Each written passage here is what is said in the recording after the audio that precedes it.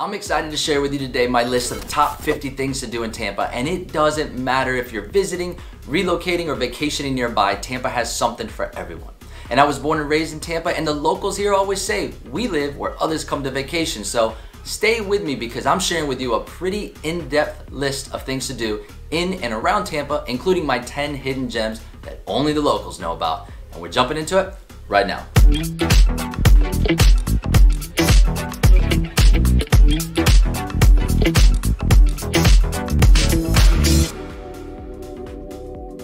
Welcome if you are new to me and new to my channel. I'm Adam Morejon and I make videos all about what it's like living in Tampa, Florida, covering the best neighborhoods and things to do. So if you can get a real feel for what it's like actually living here. If you like what you see, hit that subscribe button and ring that little bell because we have a ton of great content to share with you and you won't want to miss it. And if you're thinking of moving to Tampa, Florida, I am a licensed realtor, so see that number on the screen?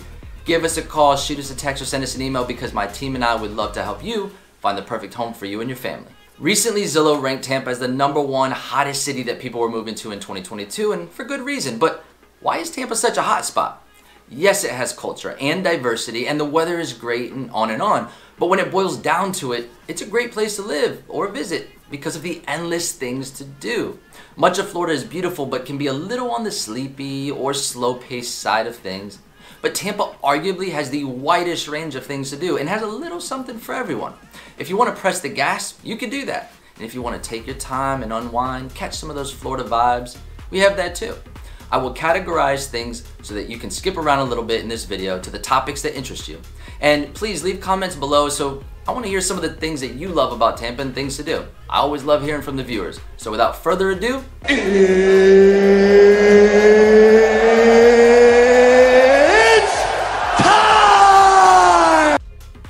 got two kiddos and I always have to keep them girls busy, so I'm starting with Tampa's attractions and theme parks. Number one, Busch Gardens. It's the ultimate family theme park. It's over 300 acres of explorations from around the world. It's known for having some of the best roller coasters, putting Six Flags to shame. It also has one of the best zoos with over 12,000 animals, a safari, live shows, restaurants, shops, and even a little carnival area with games for all those kiddos. Adventure Island. Just across the street from Busch Gardens, it's Adventure Island, Tampa's family fun in the sun water slide theme park. Race down the rapids or cool down in the wave pool, it's a good way to just beat that summer heat. The Florida Aquarium. 200,000 square feet of AC allows you to comfortably explore Florida's different ecosystems and learn about the 8,000 animals in-house. My kids love getting up and close to the big fish, the eels, the sharks, and the alligators, but nothing makes them happier than trying to pet a stingray. Zoo Tampa at Lowry Park. Hands down, one of my kids' favorite attractions in Tampa is the zoo. Tons of animals, a kids' play area, themed events all year round, and don't miss out on feeding a giraffe or a rhino. Horsepower for kids. I told you I'd give you some local gems, and this is one of them. Petting zoos, playgrounds, pony rides, and tons of animals. The highlight to the zoo is that they have a Zorse. That's right, it surprised me too. An actual zebra horse mix. Never heard of one until then. The Tampa Riverwalk. The Tampa Riverwalk is a great way to see some of Tampa's greatest attractions. With nearly two and a half miles, the Tampa Riverwalk pathway winds its way through shaded parks, under bridges, and over water, offering tons of things to do. The Riverwalk passes hotels with outdoor lounges, boat docks, river cruises, sports venues, museums, and vistas of local history. You'll see the old Tampa Bay Hotel, which is now the home to the University of Tampa, popular restaurants like Ulele and the Columbia Cafe, cultural stops like the Museum of Art, the Glazer Children's Museum, and the Tampa Bay History Center, and the um, Amalie Arena, which is home to our hockey team, the Tampa Bay Lightning. And if you're feeling a little parched, you'll find just the right mix of refreshments along the way. The open air sail pavilion with a full bar located next to the Tampa Convention Center is perfect to grab a cold beer, daiquiri, or bite to eat, and you can enjoy Sparkman's Wharf at the south end and Armature Works, a popular food hall, at the north end. Dinosaur World. See over 200 life-size dinosaurs, go gem mining, or dig for fossils. What kids don't like dinosaurs? The Epperson Crystal Lagoon. Head over to Wesley Chapel, a northern suburb of Tampa, and visit the nation's first man-made crystal lagoon. It's basically the largest pool you've ever seen, folks. At over 7 acres in size and with crystal clear blue waters, there are endless ways for the whole family to enjoy the day at the lagoon. A day pass gives you access to the massive pool, including your visit to access to a tropical beach paradise, Slidezilla, the inflatable slide, family lawn games, beach toys, beach volleyball, and access to my favorite, the Tiki Hut Swim Up Bar. With Tampa's amazing weather, it nearly begs you to get outdoors, and all year round, our calendar is packed with festivals, parades, and celebrations like these. The Gasparilla Parade. Taking place in late January, the parade follows the story of pirate Jose Gaspar, which terrorized the coastal Florida waters in the 18th and 19th centuries. Hundreds of locals follow the pirate ship in the bay by boat, and pirates invade the city, oh, kicking off a parade with nearly a million locals in attendance, cheering on floats with music, shooting off cannons, throwing beads to families. The week prior to this massive parade, there's also a calm down version for the kids, and my kids always set a countdown to Gasparilla season. The Strawberry Festival. The Florida Strawberry Festival is located in Plant City and it dates back to 1930 an annual 11 day family oriented event with strawberries prepared in any way you can imagine. Free daily attractions, carnival rides, headline music entertainment, an array of activities, and a fun filled day for the entire family. Beer, Bourbon, and Barbecue Festival, one of my personal favorites. You better get in that beer, sipping, barbecue tasting, music, listening, cigar smoking, and bourbon tasting kind of mood because this festival is all day and packed with great music and over 60 types of beers and 40 types of bourbon to try. It's gonna be a good day. Margarita and Music Festival. Pretty much self explanatory, but a ton of margaritas and music to keep you smiling, and you know, it's Jimmy Buffett style. The Sunset Music Festival. Sometimes you can go slow, but this is pressing the gas with three days of sensory overload, electronic music with tons of partying. It's our summer music fest. Sugar Sand Festival. Many of you come to visit our beautiful beaches. Well, for a few weeks each year, we have sand artists that come to show off their talents for making sandcastles and they put them on display for the public to enjoy. Serious talent though. It's a good event for the entire family. The Tampa Bay Air Fest. Each year, the MacDill Air Force Base, located in South Tampa, puts on a two day event of high flying air acrobatics, often including the Blue Angels. Best part, it's free to the public. Explore the outdoor, including a little bit of nature. Our beaches. We have some of the best beaches in the country in our backyard with St. Pete Beach and Clearwater Beach as two of the most popular. But there are around 10 other beaches equally as nice wedged in between, and a few of my favorites located a little south of us include Anna Maria Island and Siesta Key Beach.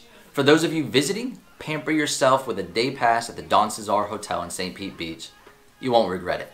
Explore the fort. Near St. Pete Beach is the Fort DeSoto Park where you can tour a Spanish American War era fort go shelling on the beaches, hike, bike, or birdwatch. Great for a day out of exploring and everyone loves getting up and close with the cannons on the fort. Parks. If you like nature parks, visit the Hillsborough River State Park and check out the rapids from the trails or visit Alafia State Park, home to over 17 miles of wild bike trails and over 20 miles of hiking and horse trails. The TECO Manatee Viewing Center.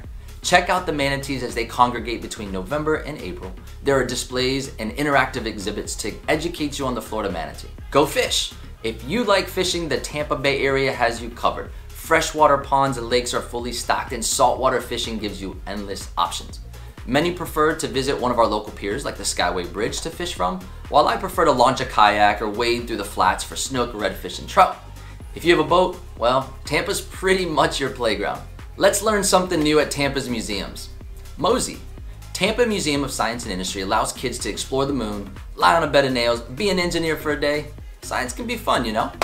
Glazer's Children Museum. The museum is designed to inspire learning through innovative play. My three-year-old her favorite is going to the Publix area and pretending that she can shop for groceries and she could be a, just a grocery shopper for a day. And my seven-year-old was over the moon when we made paper airplanes, then got to test them out by their flying skills by putting them in a little machine that launches them. The Tampa Bay History Museum features three floors of exhibits taking you through centuries of Florida's history. You can hit the high seas with the conquistadors and the pirates, stroll through the brick streets of Ybor City with Cuban cigar rollers, or saddle up with the cattle drive from the Florida pioneers. The Dali Museum, a staple in nearby St. Pete. This museum highlights the unparalleled collection of works by the renowned artist Salvador Dali. After, you can explore the gardens and grab a bite to eat in a Spanish cafe. Check out the sports calendar. Go to a game. Tampa has four pro teams, including the Tampa Bay Bucks, Tampa Bay Lightning Hockey, the Tampa Bay Rays baseball team, and our Tampa Bay Rowdies soccer team. We also have the New York Yankees and the Phillies that play spring training ball right here, and USF college football, which we do play some pretty big schools, so good games. How about some nightlife and entertainment? The Seminole Hard Rock Casino. Feeling a little lucky?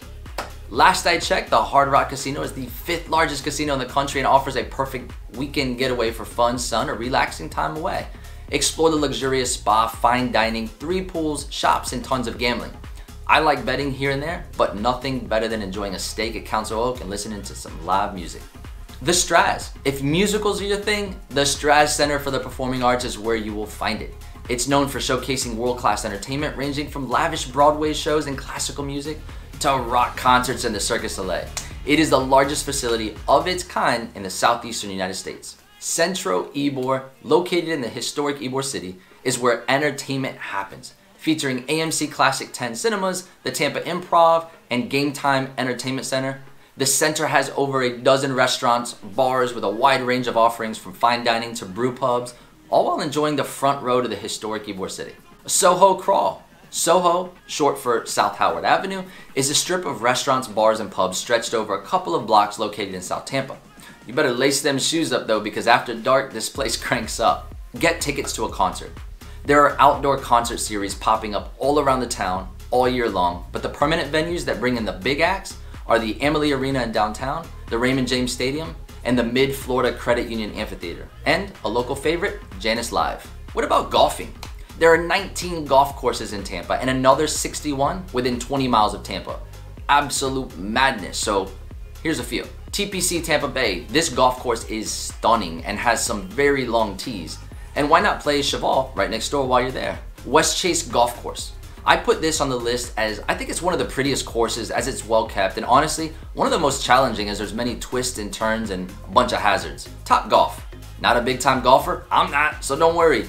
Head to Top Golf and have some fun with friends on the rooftop terrace while having some drinks and hitting some balls. So how's that shopping you ask?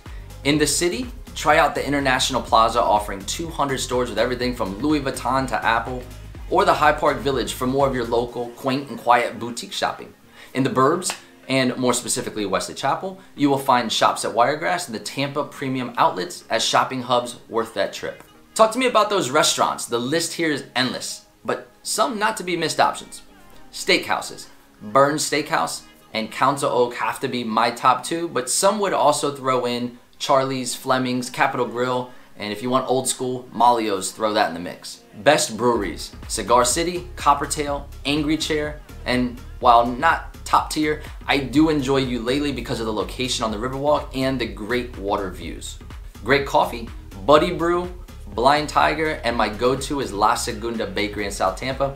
Hands down the best cafe con leche and Cuban toast. Good seafood, Ocean Prime is great for a date night and for a casual option, Big Ray's Fish Camp on the Riverwalk.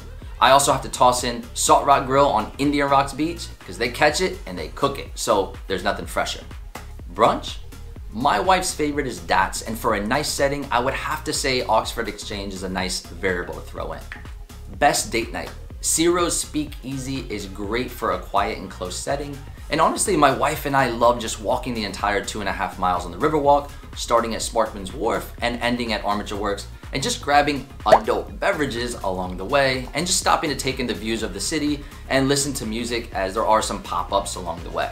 Okay, so I'm wrapping up the last 10 with a variety of local hidden gems that will have no rhyme or reason to them, but definitely off the beaten path and should be on your Tampa bucket list. Parksdale Market, where strawberries are king.